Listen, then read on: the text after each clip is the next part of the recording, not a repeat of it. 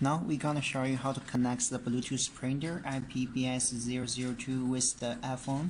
Okay, this is iPhone and this is the scanner. First, we need to press this button to open it. You can see the blue light. It means the scanner has turned on. Okay, then we press this button over 10 seconds until you see the light is blinking. Okay,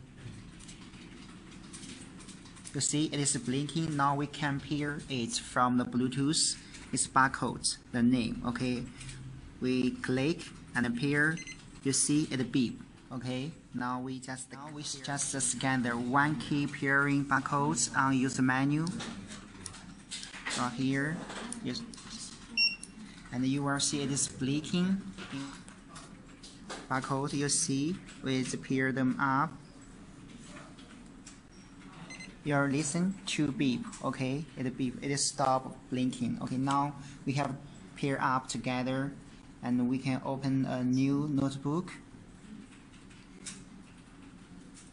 to read the barcodes okay? This is the fresh and we read the barcodes. You can see from here it's very quick. You see? It's very simple right? Thank you